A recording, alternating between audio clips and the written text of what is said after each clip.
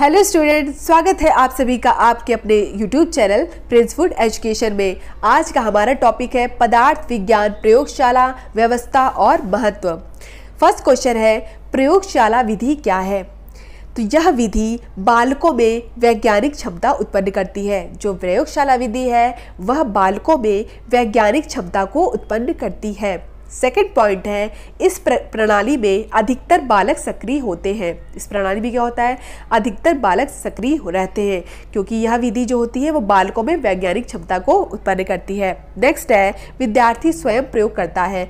जहाँ क्या होता है कि विद्यार्थी स्वयं प्रयोग करके सभी कार्य करता है तो वहाँ बालक क्या होता है? सक्रिय होता है। ठीक है? इसलिए उनका दृष्टिकोण कैसा हो जाता है?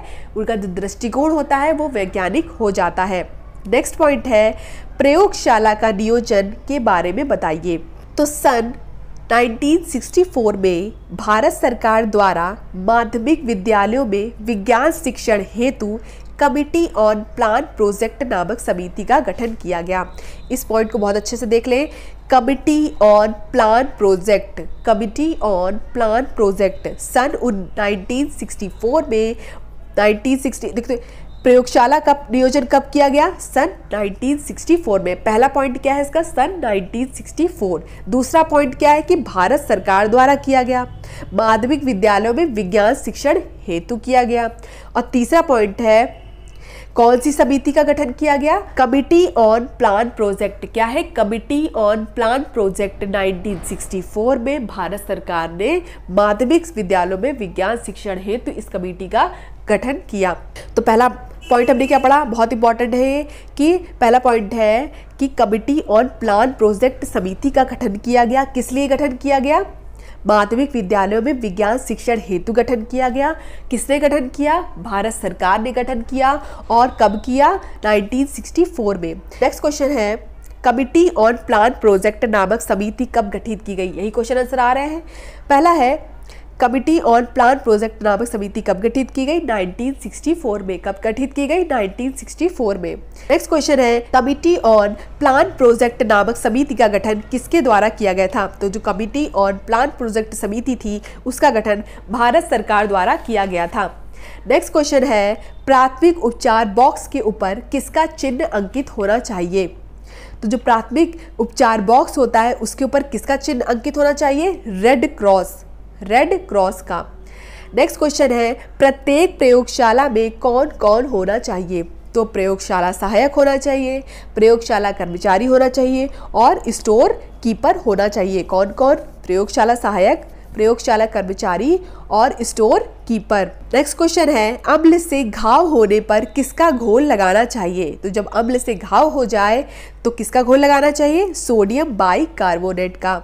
सोडियम बाई कार्बोनेट का N A H C O three जो होता है, उसका घोल लगाना चाहिए।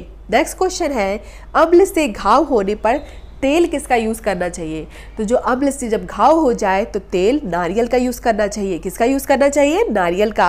नेक्स्ट क्वेश्चन है, माध्यमिक विद्यालयों में विज्ञान शिक्षण हेतु किस समिति का गठन किया गया था? कमिटी ऑन प्लान प्रोजेक्ट का।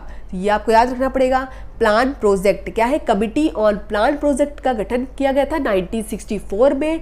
विज्ञान शिक्षण हेतु किया गया था और भारत सरकार ने किया था। नेक्स्ट क्वेश्चन है, प्राथमिक उपचार बॉक्स में क्या होना चाहिए? क्या होना चाहिए? छोटी बड़ी पट्टियाँ होनी चाहिए, कीटाणु रहित मरहम होना चाहिए और जोड़ने वाला प्लास्टर होना चाहिए।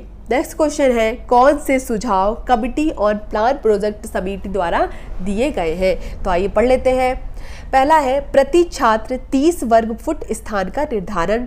दूसरा है 8 इंटू फोर, आकार की प्रदर्शन, पेज। तीसरा है, स्टोर रूम की स्थापना। और चौथा पॉइंट है, सामान्य विज्ञान की प्रयोगशाला का गठन किया जाए। ठीक है, पहला पॉइंट हमने पढ़ा 30 वर्ग फुट स्थान का निर्धारण किया जाए।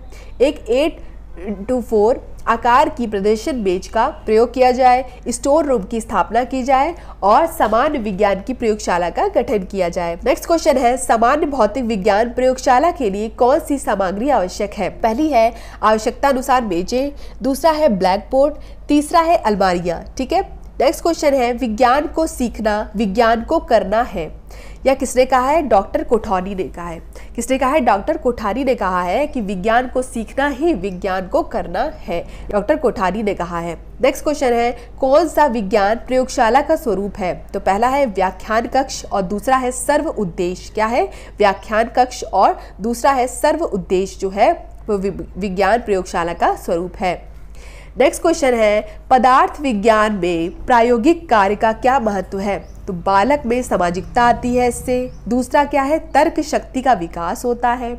तीसरा है, बालक कर के सीखने पर कार्य करता है। करके सीखो सिद्धांत पर कार्य करता है। पहला क्या था? बालक में सामाजिकता आती है। बालक का तर्क शक्ति का विकास होता है। बालक करके सीखो सिद्धांत पर कार्य करता है। तो इस तरह से आज का हमारा टॉपिक पदार्थ विज्ञान प्रयोगशाला व्यवस्था और महत्व आज यहीं पर कंप्लीट हुआ। बीएड की सभी क्लासेस देखने के लिए डिस्क्रिप्शन में दिए गए लिंक पर जाकर आप देख सकते हैं। बीएड की पीडीएफ के लिए आप हमसे टेलीग्राम या व्हाट्सएप ग्रुप में जुड़ सकते हैं।